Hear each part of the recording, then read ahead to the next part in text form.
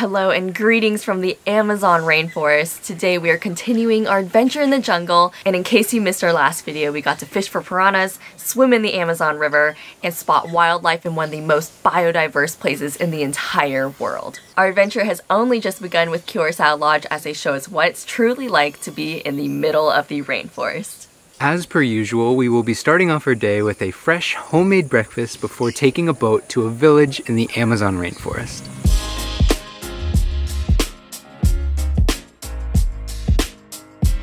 Breakfast for today.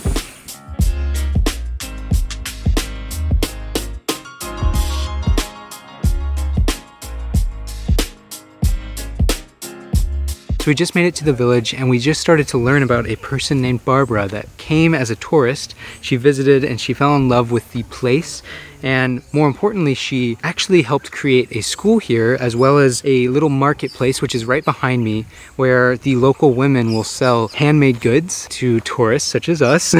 and they're able to make an income and improve their houses because what would actually happen is the water would be above where I am right now. It'd be higher than my head and it would flood their houses every single year. And because their houses are made out of wood, the wood would rot and it just would not last very well. So she came in and helped build um, more substantial housing that was made out of concrete um, so it can last for a longer time and they can use it year after year, which is just really exciting. So this is how high the water will go. It's right underneath the house. It's pretty wild.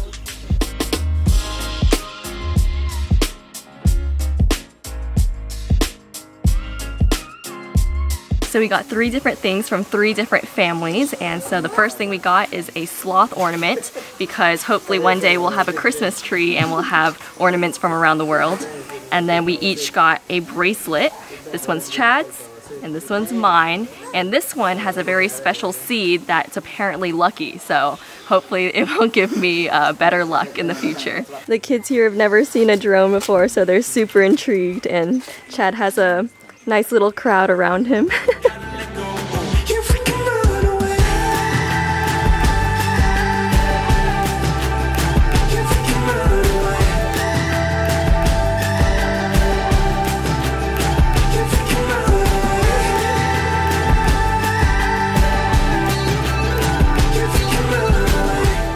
So behind me is this palm tree called the aguaje, and this very special tree actually attracts a beetle um, that the jungle people eat. And so what they do is they cut that tree down, and then they have the trunk of the tree, which they then chop up, and this will attract the beetle to come fly over, lay its eggs, and then they wait for the larva to come out. And this larva really enjoys eating the heart of the palm. It's very juicy, very tasty, and they'll eat, eat, eat, eat, eat, and then the people wait 21 days, and so they chop open the tree, and sometimes they'll even get up to 500 of these larvae. And apparently, we might be lucky enough to try this larva, this little rainforest grub, um, because they are bringing us some, and Apparently it's very delicious, so I'm excited to try it. So we just got off the boat and behind me, there are these lily pads that are insanely large. They're probably about four feet in diameter. So what's really crazy is they actually have this root system that's at the bottom of the lake and it has these two vertical stems that are about five meters long and they can't grow any longer than that. So if the lake was any um, higher, it wouldn't be able to be here. So I'm really glad that it is. And the two stems that I was talking about, actually one of them is for the lily pad itself and then the other is for the flower that grows. And that flower actually only lasts for about one week. And during that one week, it goes through three changes of color. The first is white, the second one is pink, and the third one is lilac. But we're actually heading back to the lodge to have some lunch. Ooh, a little welcome drink. Muchas gracias. Oh, oh, yes, much needed. so they served us another juice for lunch, and it is made from the cocona, which is a relative of the tomato. It's really refreshing. It is officially lunchtime. As always, the spread looks amazing. So we have made it to the afternoon part of the day where we lay in our hammocks, we have our fans, and we are so full from lunch that you just want to fall asleep. And you do to the sounds of the birds and but yeah. So ever since we arrived in the Amazon rainforest, it actually hasn't rained because we are here during the dry season, but I do hear some claps of thunder and I'm really hoping it does rain because I want to see the rainforest in action. Guys, it's starting to rain. you can see it on the water a little bit. So the rain has now ceased and we are going to head into the rainforest for a little jungle walk. And we did enter the jungle the night before, but it was at nighttime. So we are officially entering the jungle and it's pitch black outside. And that was horrifying because once you turn the lights off, you literally can't see anything. And apparently, like if someone was walking through the jungle and their light went out, they have to just stay where they are and sleep the night exactly where their light went out. And I think that's so scary. But we're gonna go during the day so that hopefully we can spot some monkeys and some other creatures. We are getting jungle ready. yes, we have a few drops of uh, bug spray left, putting it in the vital areas, which I guess this is a vital area. Hopefully there's no tarantula. Wow, you didn't even shake them out. so you're gonna shake yours out or no? Oh, I forgot. So apparently, during today's jungle walk, our guide Freddy is going to point out different types of medicinal plants because there are tons of them in the rainforest and actually a lot of the locals here they don't go to the doctor or anything like that. They just kind of go into the jungle, find a certain plant that they need for whatever is aching, and they will eat it or apply it to their wound, and it's a great way of living, all natural. So we are about to head into the rainforest, and our guide Freddie has yeah. a nice little machete to protect us.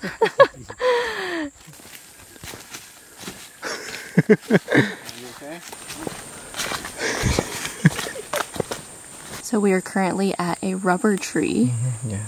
The sap just pulls off like yeah. rubber. Wow. It's strong. So this is the sap from the rubber tree and they would export a lot of this to Europe and they would use it to make tires. And it's pretty cool.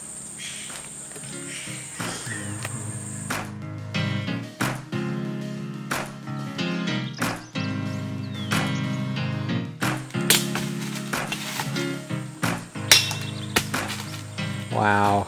Also, I want to point out that uh, we have our boots, but Freddie's just wearing flip-flops. Very brave. brave. so this tree here is actually very poisonous. It's called the Catara. As you can see, there are a lot of spikes and these spikes actually hold a poison that if it even got a single drop in your eye, you can be blind forever. But they also use this poison to shoot at animals and it'll paralyze them, which is really interesting. But what is really cool is that the leaves are medicinal. So you can actually use those for medicine. And then also the wood is very good for boats. So if you cut off all the poisonous parts, the wood is perfect because it's um, very lightweight and it floats well. So this is red cat's claw and it is used to heal cancer as well as just a variety of illnesses. Just the bark is used and what they do is they'll soak it in water or they will boil the bark in water and then you will drink it and apparently it will make you feel a lot better. It is also used if you are very thirsty and you're lost in the jungle and you need some water, you can cut it and you can take a piece and it'll give you some mineral water, which is really awesome.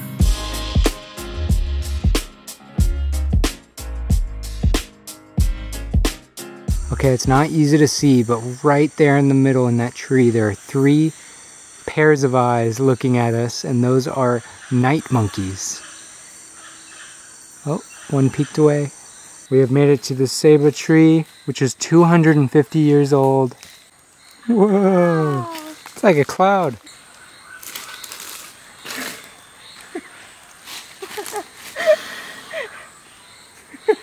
oh my goodness. Tell them the fun facts. Me? Yeah, just because. bugs in this. kind of freaking me out. that is the fun fact. Uh, a lot of spider there. So this is a flower from the ceiba tree, which is right behind me, and they use this to make pillows, and they also use it for blow darts. So they actually wrap the darts in this, and it helps seal the hole so that they can blow it farther, and also it makes the dart more stable while it's in the air, so it's more accurate. It's really interesting, and it's really soft.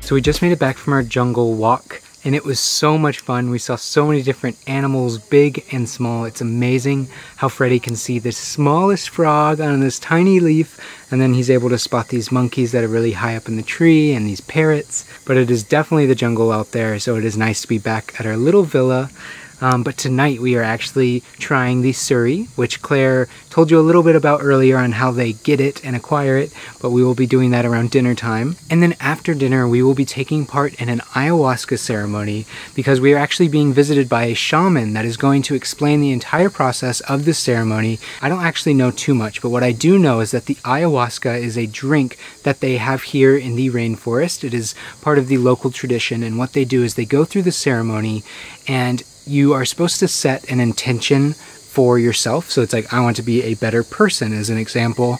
And you have this drink, which does not taste good apparently, but it allows you to cleanse your body so you might throw up from it but then you start to have visions and apparently it unlocks a part of your brain that is not normally unlocked claire and i will not be partaking in the drink itself but we are very excited to learn about the entire process of the ceremony wow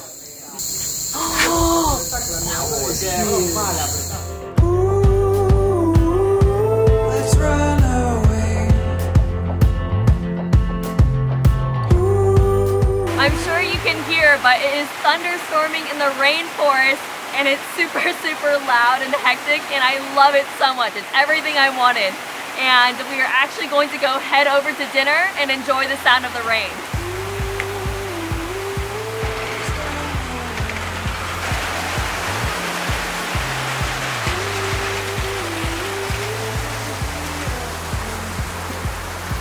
Already prepared. So these are the beautiful rainforest grubs we were telling you about earlier. These are the suri, and they have grilled it for us. And we're gonna try eating them. I'm actually really nervous now that I'm seeing it. They're huge. Like, this is my hand for reference. So we are about to try this rainforest grub. the suri. yes, and we're gonna do it at the same time so that our, I don't know, so that we just feel better about doing yeah. this.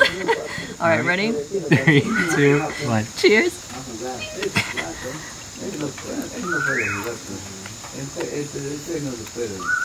Oh, actually very good. It honestly does have a taste kind of like chicken. Mm -hmm. It's really juicy. Mm -hmm. I think it kind of tastes like a shrimp, but if you ate it with the shell. Well, the head reminds me of the corn nuts that they give you here in Peru whenever you're about to start a meal. Yeah. Honestly, if I had to rate it 1 out of 10, I would rate it an 8. I will give it a 7, but only because it's a mental thing. Like, it, it tastes pretty good, but I think I'd still give it a 7. Yeah. Because of the textures, the crunch isn't really my favorite. Yeah, and then the, the flavor of it is kind of like a fried fish. Yeah. So Claire actually ended up eating two of those grubs, which I could not believe, and that's actually because she wanted to get a shot for Instagram, so mad respect for her, but I was actually wondering if you guys would try these grubs. Definitely comment below. Um, let us know if you would because I'm really interested to see what you guys would do. So we are now digesting our little grubs and we are going to go meet our shaman and learn all about ayahuasca. Dun, dun, dun.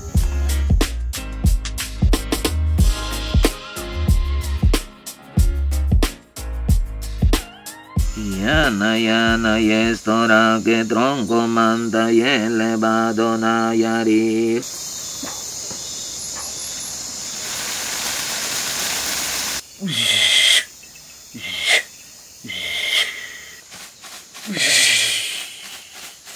Cuidaringue, cuida munguecito y ni cuidaringue, cuida munguecito y ni cuidaringue, limpia munga medicina y Claro, claro, ñahuicito y ni.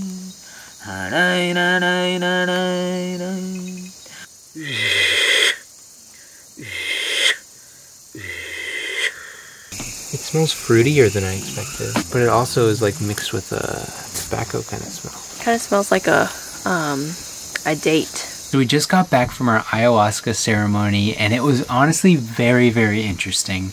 Mm-hmm. Um, we learned a lot about the history of it. So the shaman that came, eh, he's part of a generation that has done it for years and years. And basically, what he did is at a young age of 14, he went off into the wilderness and started learning about the plants by kind of like camping, I would say. Yeah, living amongst them. Yeah, and so he would be on a very strict diet of tasting these plants along with other foods um, to start to understand them. That's kind of a general gist of it. Um, and then the ceremony was very, very interesting as well. So basically, as he begins to understand the plants, he then has these songs that he learns about each plant and he will perform the ceremony while singing those songs and each song kind of gives more power or energy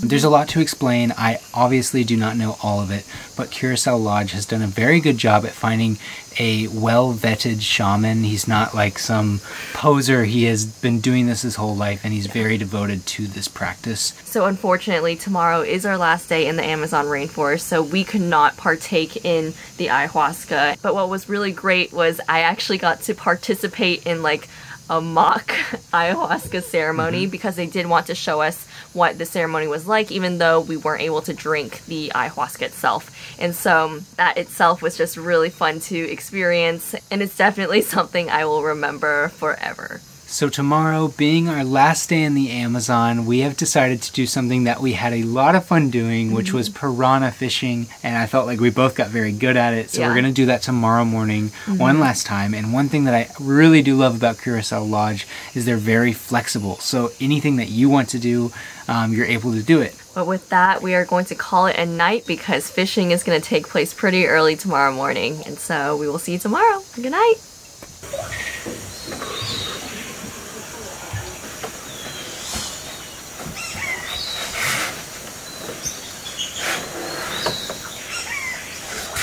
Good morning, Princess. It's our last day. It's so easy to just keep on sleeping to the sounds of birds.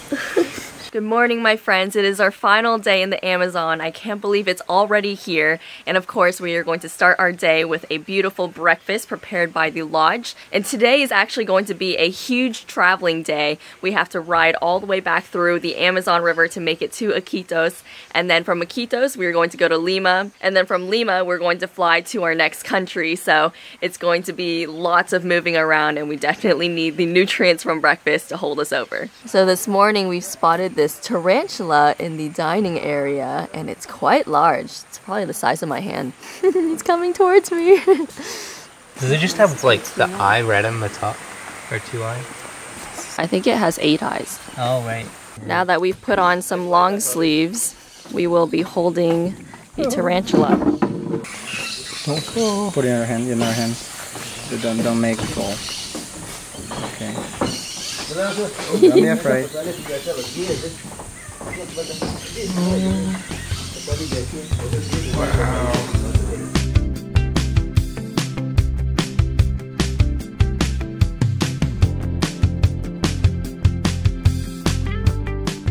We have just made it to our fishing spot, and now we're gonna put some bait on our rods and hopefully we'll catch something. Got one. it's a piranha! It's the red piranha. Well done, Chad. Thank you, thank you. First catch of the day.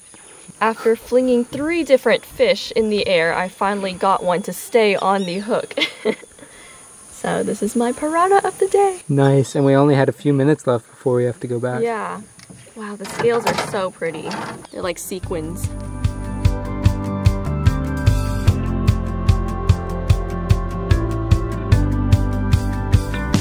The last meal at the lodge. Yeah, looks like we have some lomo saltado today. Of course, the bananas as usual. Our last time walking down these stairs. Yeah. The boat is full. Nine people and a lot of luggage. It's okay. And a it's generator.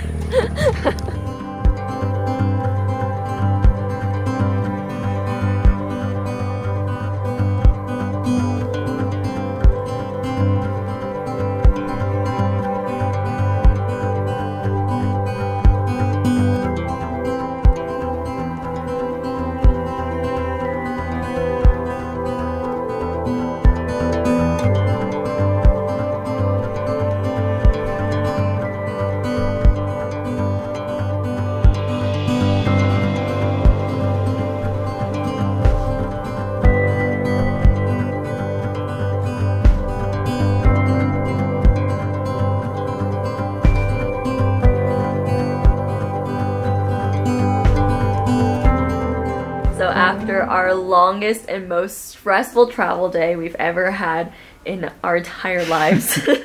yeah, it was really bad. we have finally made it to our Airbnb for the night in a different country.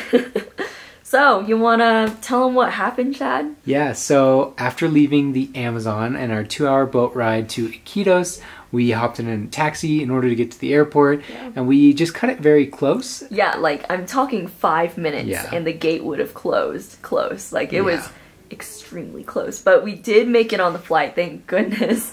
And then we got on the flight, we got to the Lima airport. We had to go get some dinner, and then from there we had to fly into our next country and basically fill out lots of different forms to make sure we could get in okay, and just make sure we're um, you know doing well with all the COVID uh, Yeah. regulations. And so after that, got to the country, the, mystery country, and then we had to essentially Uber to our uh, Airbnb. Yeah, and it was really late. So it was like Yeah. 2 a.m. once we arrived to our country. Oh, and on top of that, I put the wrong address in on Uber. So then we had to figure out how to pay the Uber driver in cash because I Yeah. couldn't update the route. Overall, I think it was a 16 hour travel day um, of just like going continuously. So we haven't had Wi Fi or cell service for the past four days in the Amazon, so we weren't able to check into any of our flights or like even tell our Airbnb hosts what time we would be arriving or anything. And so that was just really stressful to quickly try to figure out using the airport Wi Fi. Um, but yeah, I just want to clue you guys in to give you a little bit of the realities of full time travel. But now let's conclude our time in the Amazon. So, our time in the Amazon was way more adventurous than we ever thought it would be. We did so many things that were way out of our comfort zones, and I feel like we were just constantly like pushing each other Yeah. to do crazier things. Because, you know, we're only going to be in the Amazon once probably. So, we want to do everything that was on our bucket list or anything that is famous in the area. And so we literally did it Yeah. all. so we ate the grub, we swam in the river, we fished for those very sharp toothed piranhas. we held the tarantula. We did literally all the things that we thought we'd never do. And I'm really proud of us. Like looking back, I'm really glad we did everything. Even in the moment, though, I was so glad that we did it. Yeah, hmm there were like no regrets. We didn't like jump in the Yeah. Amazon and be like, I regret this. that would be so bad. Yeah. Felt like we really had a very local experience, especially with our guides. Thank you so much, Freddie. You were awesome. Mm-hmm. But overall, I want to say another huge, huge thank you to Curassow for making this experience so memorable and so immersive with the rainforest. We couldn't have had a better experience, and it was just a pleasure being there and being with the staff and all the people in the jungle. So, if you do want to book a stay with Curassow Lodge, um, if you mention Chad and Claire, you will actually get a discount. Uh, we won't get paid for this or anything like that. We just really want to support the lodge and send you guys over there because we did really have a wonderful time. And so we want you to have the same amazing experience in the Amazon as well. So um, all the discounts will be linked in the description box below as well as our website if you do